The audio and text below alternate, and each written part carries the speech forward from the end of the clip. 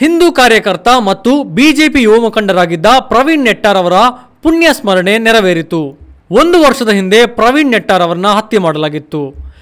ಈ ಮಧ್ಯೆ ಹಿಂದೂ ಕಾರ್ಯಕರ್ತನ ಅಗಲುವಿಕೆಯ ದುಃಖದ ನಡುವಿನಲ್ಲೇ ಪುತ್ತೂರಿನ ಆರ್ಯಾಪು ಗ್ರಾಮ ಪಂಚಾಯತ್ನಲ್ಲಿ ಸಂಭ್ರಮಾಚರಣೆ ನಡೆಯಿತು. ಹಿಂದುತ್ವ ಆಧಾರದಲ್ಲಿ ಚುನಾವಣೆಗೆ ಸ್ಪರ್ಧಿಸಿದ ಪುತ್ತಿಲ ಪರಿವಾರ ಗೆಲುವು ಕಂಡಿದ್ದರಿಂದ ಕಾರ್ಯಕರ್ತರು ಪಟಾಕಿ ಸಿಡಿಸಿ ಸಂಭ್ರಮಿಸಿದರು.